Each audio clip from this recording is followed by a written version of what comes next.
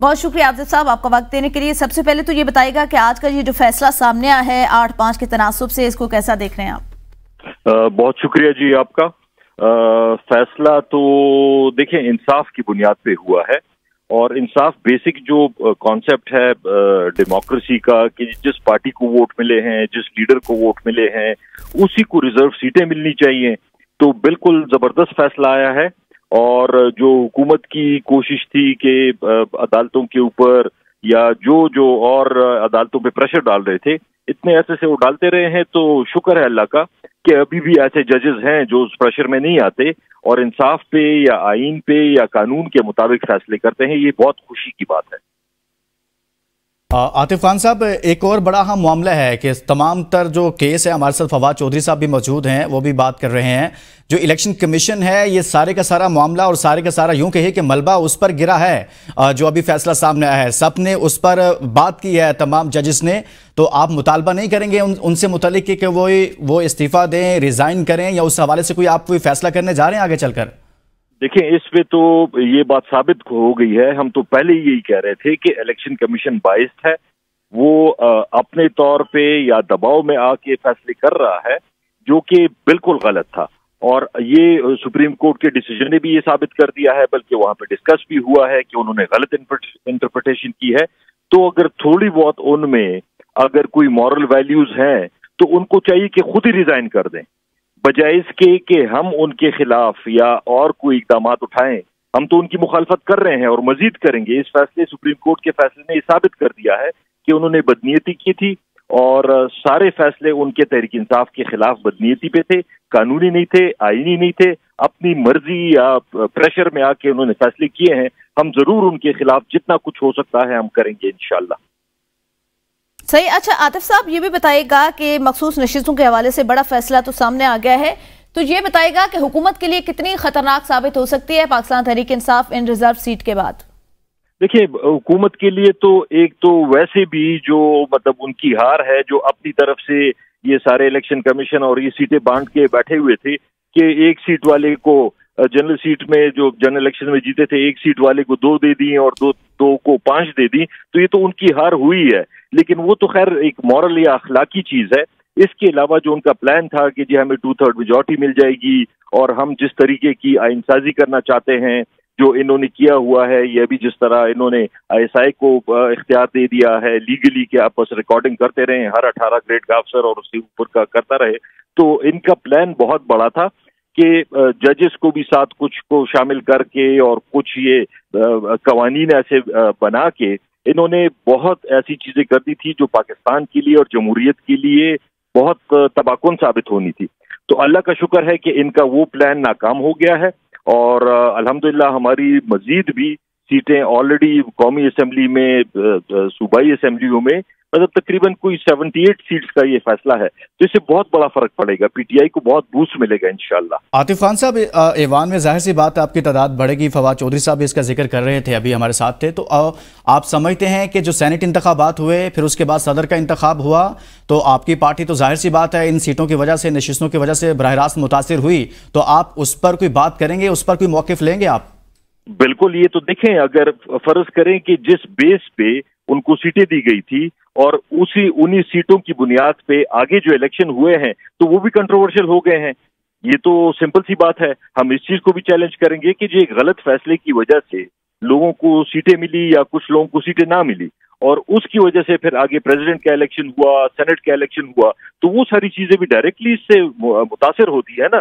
तो उसको भी ज़रूर हम टेकअप करेंगे इनशाला आतिफ खान साहब, किस तरह से अब अपने मामला को आगे बढ़ाएँगे? सुप्रीम कोर्ट से एक बड़ा फैसला तो आया जो बज़ाहिर आपके हक में आ गया, लेकिन दूसरा एक और अहम मामला है, वो इंतबात से मुतलिक आपने एक पटिशन दायर की हुई है, लेकिन वो अभी तक मुकर नहीं हो पा रही तो उसको किस तरह से आगे बढ़ाएँगे? उसको देखें, ये तो जो लोग इन चीज़ों को दबाना चाहते हैं, वो भी आपको पता है, और जो चीज़ जो लोग इसको आगे लाना चाहते हैं, वो भी आपको पता है। एक चीज़ में वो नाकाम हो गए हैं, इसकी भी हतुल वसा आपको पता है, कोशिश की गई कि जी ये फैसला पीटीआई के खिलाफ आ जाए, लेकिन अल्हम्दुलिल्लाह जजेस ने स्टैंड दिया और फैसला हमारे हक में आ गया। उसके पीछे भी हम पड़े रहेंगे इनशाला एक न एक दिन ये कितना रोकेंगे? मतलब महीना, दो महीने, छह महीने, ये जो सिस्टम बनाया हुआ है, ये रिस्पायरेटर का कि एक रेस्पायरेटर लगाया हुआ है और उस पर चला रहे हैं, ये तो नहीं चलेगा। ये तो खामखा एक चीज़ बनाई हुई है। ये चलने का नहीं है। ये हुकूमत, मैं आपको बता रहा हूँ कि मतलब आप आवाम से पूछ लें, आप मीडिया से पूछ लें, आप इंटरनेशनल इदारों से पूछ लें, क्या क्रेडिबिलिटी है इनकी? तो इस तरह तो हुकूमतें नहीं चलती। जमहूरियत तो या तो अगर बादशाह हो या मार्शल हो, फिर अलग चीज़ है। लेकिन अगर डेमोक्रेसी है और लोगों की राय को देखा जाता है तो वो तो कुछ भी नहीं है। ये हुकूमत तो मेरे ख्याल में बस थोड़े अरसे की मेहमान है। थोड़े अरसे की मेहमान हुकूमत है, लेकिन आतिफ खान साहब, इसके साथ साथ ये भी एक अहम मामला है कि जिस तरह से हुकूमत का कंडक्ट रहा है और अब ये फैसला है, इस फैसले के बाद बजाहिर तो लगता है कि आपको अदालतों से एक एक तरह से आइनी रिलीफ मिला है। तो इसके बाद आपकी हमत अमली क्या होगी? क्या आप इसी तरह से आगे बढ़ेंगे या दूसरी जानब आप एहतजाज की तरफ़ भी जाएँगे? वो मामला भी साथ साथ करेंगे। वो दोनों चीज़ें हम करेंगे। हम लीगल बैटल लड़ेंगे अदालतों में। अदालतों के बाहर भी हम इनशाला अपनी जदोजहद जारी रखेंगे। उसमें एक इशू जो पंजाब की सूरत हाल बहुत लोगों को पता है बहुत लोगों को नहीं पता होगी कि वो जैसे उन्होंने माहौल बनाया हुआ है वहाँ पे कोई सियासी जलसा कोई एहतजाज पुरअमन नहीं की, करने दिया जा रहा। आप देख लें इलेक्शन से पहले और इलेक्शन के बाद कोई जलसा पीटीआई को करने दिया गया है।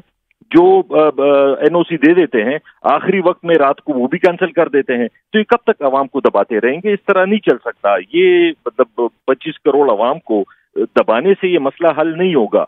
आप लोगों को स्पेस दें, आप लोगों को उनकी राय को देखें, उसके मुताबिक आगे काम करें तो मुल्क लॉन्ग टर्म में चलेगा। इस तरह से नहीं चल सकता।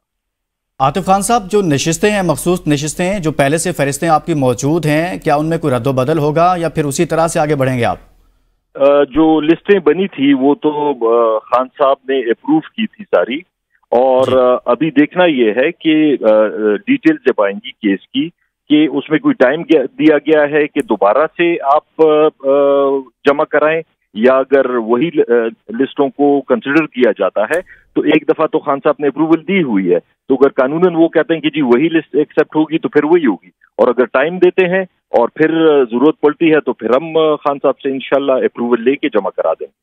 नहीं आप समझते हैं कि वो इलेक्शन से पहले जमा हुई जब हालात कुछ और थे अब हालात कुछ और हैं उसमें कोई तब्दीली होनी चाहिए आप समझते हैं वैसे? देखिए ये तो भी कानूनी बात है लेकिन मेरे ख्याल में अगर अभी ताज़ा लिस्ट जमा कर दी जाए तो अच्छी बात है। एक फ्रेश सारों की पार्लियामेंट्री बोर्ड की या खान साहब की उसमें एक इनपुट आ जाए तो ज़्यादा अच्छी बात है। सही। अच्छा आतिफ खान साहब, ये बताएगा, मीशत के हवाले से बानी पीटीआई का भी यही मौकफ है कि मीशत के हवाले से हुकूमत के साथ बैठने को, बात करने को तैयार है। अभी मेजोरिटी जब मिल जाएगी, आपको सीटें आपकी बढ़ जाएँगी तो उसके बाद क्या टफ टाइम दिया जाएगा हुकूमत को, या मुजाकर की तरफ़ बढ़ेंगे आप लोग? देखिए मुजाकर तो पोलिटिकल पार्टीज़ को करनी चाहिए, वो तो ठीक बात है। लेकिन उसके लिए कोई कॉन्फिडेंस बिल्डिंग मेजर्स होते हैं, कोई माहौल होता है, कोई सीरियसनेस होती है। मतलब एक दिन आके ये कहते हैं कि जी मुजाकर करने हैं, दूसरे दिन आके कहते हैं कि जी ये नौ मई में इनको फॉरन फंडिंग आई थी मतलब राना सनाउल्ला साहब जैसे करते हैं। वैसे आके कभी एक बात कर देते हैं, कभी तो देखें, हम बिल्कुल बात करने को तैयार हैं, लेकिन पहले हमें कोई इंटेंशन तो नज़र आए, कोई सीरियसनेस तो नज़र आए, कोई प्रॉपर तरीके से अप्रोच तो किया जाए, ये तो नहीं है कि टीवी प्रोग्राम में कह दें कि जी हम बात करने को तैयार हैं, अगले दिन कहें कि जी हम बात करने को तैयार नहीं है।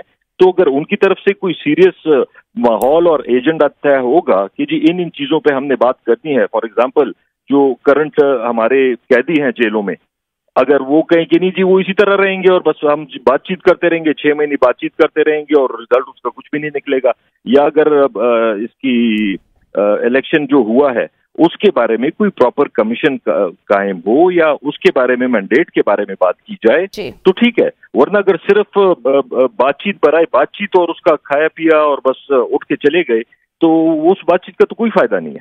आतिफ खान साहब जिस तरह से आप कह रहे हैं कि अगर एजेंडा ये हो कि जो इलेक्शन हुआ है उस पर कोई कमीशन बनाने के हवाले से बात हो तो आप आगे बढ़ सकते हैं लेकिन दूसरी जानब खान साहब ये कह रहे हैं री इलेक्शन की वो बात कर रहे हैं। तो अगर री इलेक्शन की तरफ़ बात बढ़े तो फिर उसके लिए भी आप तैयार होंगे? देखिए हम तो बिल्कुल री इलेक्शन की तरफ़ जाने को तैयार हैं। वो इस वजह से कि हमने पीटीआई ने सारी पीटीआई ने जिस तरीके से इलेक्शन लड़ा उसके बावजूद भी अल्हम्दुलिल्लाह लोगों ने वोट दिया जीते हैं। तो अगर सही माहौल होता है मतलब सिंबल ले लिया लोगों को पकड़ रहे हैं जल से नहीं करने दे रहे उसके बावजूद भी अगर लोगों ने इतना वोट दिया तो पीटीआई को तो सूट करता है कि अगर प्रॉपर इलेक्शन कमीशन हो और इलेक्शन दोबारा से हो जाए तो हमें तो सूट करता है, हम तो इलेक्शन से नहीं भाग रहे हैं। ये तो वो लोग भागेंगे जिन्होंने कोई जाली माली चीज़ें इकट्ठी करके फोर्टी सेवन बना के और पता नहीं रात को हार गए, अगले दिन फिर जीत गए। इलेक्शन से तो वो लोग भागेंगे। हम तो तैयार हैं।